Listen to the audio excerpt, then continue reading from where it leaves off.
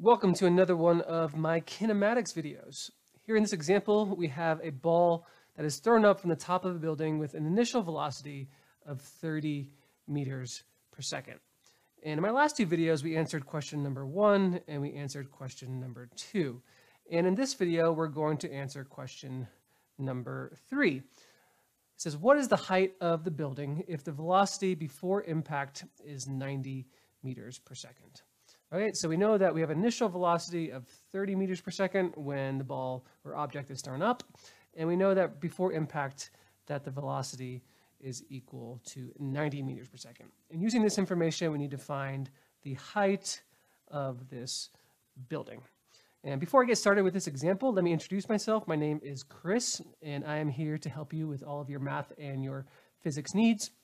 And I want to let you know that I do offer homework solutions. So if you need any extra help with your homework, uh, send me an email to homeworksolutions at mathmeeting.com and make sure that you send pictures. Send me pictures to homeworksolutions at mathmeeting.com and I will get back to you immediately with a quote. But let's not waste any more time and let's get started right away with this example. All right, so let's answer question number three. What is the height of the building, given that the velocity of the object before impact is 90 meters per second. All right, and we're going to use these same principles that we use for all of our other kinematics problems. All right, we're going to use these formulas here on the left. And notice how all these formulas have four unknowns. And we are given three of those unknowns, and we need to solve for the fourth. So we need to find which three unknowns that are given to us. All right, so we know that the initial velocity of the ball being thrown up is going to be equal to 30 meters per second. So when, when, the, when the ball is thrown up immediately, we have an initial velocity of 30 meters per second. All right, and I'll write this underneath just to keep all our information organized. So we have an initial velocity of 30 meters per second. All right, and we also know that uh, the velocity right before impact is equal to 90 uh, meters per second. Okay, so when uh, right after the ball is thrown up or the object is thrown up, it's going to reach its maximum height, then it's going to start coming down. And then when it comes down, right before it hits the ground, or instant the instant before it hits the ground, we're going to have a velocity of 90 uh, meters per second. But since this is going in the opposite direction of our initial velocity, it's going to be a negative value. So this, this final velocity right before impact is going to be equal to negative 90 meters per second because it's going the opposite direction of the initial velocity. All right, so let's write this underneath our initial velocity. So we have a final velocity that is equal to negative 90 meters per second. All right, so what other information is given to us? Well, we know that the acceleration of this object is going to be the acceleration due to gravity because we have the, the gravity pushing down on the ball. So we know that the acceleration due to gravity is equal to 9.81 meters per second. So I'm just going to round it to 10. And it's going to be a negative 10 meters per second squared. Okay? And once again, the reason why this is negative is because we are going in the downward direction. Our, our downward direction we assign as negative values and upward direction is positive values. All right, so our acceleration due to gravity is going to be equal to negative 10 meters per second squared.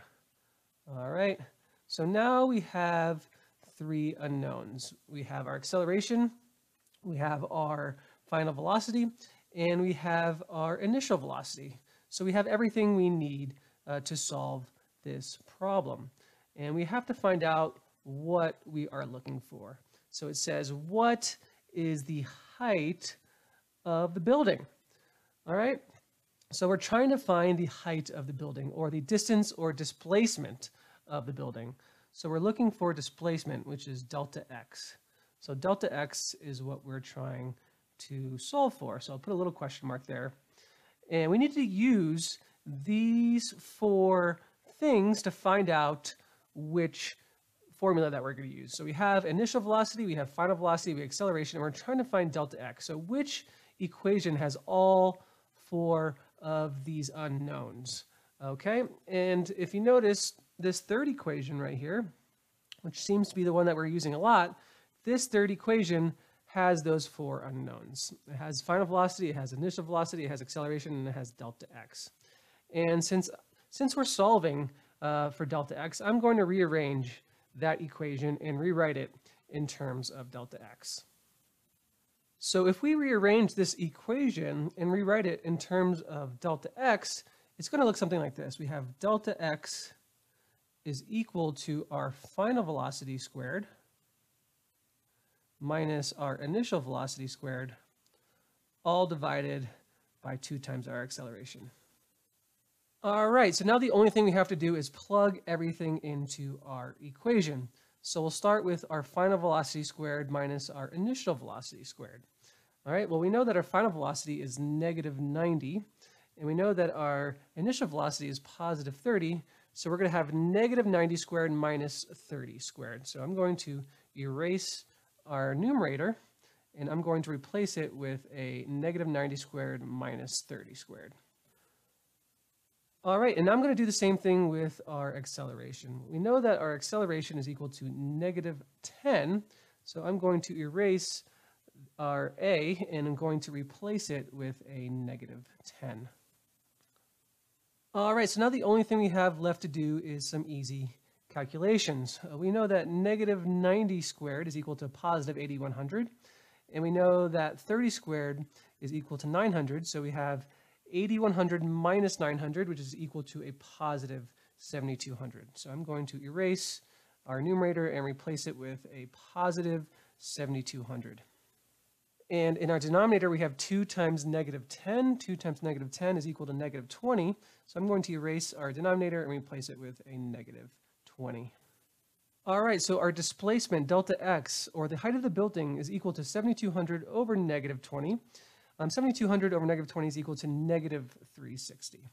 So our height of the building, or displacement distance, delta x, is equal to negative 360. And our units are in meters. And some of you are probably wondering why our distance has a negative value. And so let me explain why this is happening. The reason why our distance or the height of the building is a negative 360 meters is because we assigned a the downward direction as negative. So we measured from the top of the building to the bottom of the building, and we decide and we assigned at the beginning of the problem a downward direction as negative. So that's why we have a negative distance. So so the building is actually 360 meters tall. Don't let this negative value um, confuse you at all.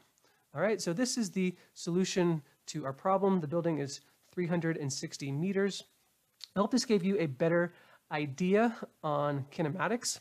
If you want to keep on learning, check out my next video on kinematics. Once again, don't forget I do offer homework solutions, so send me an email to homeworksolutions at mathmeeting.com with pictures, and I would love to help you out. Uh, thank you so much for watching, and I will see you in my next video.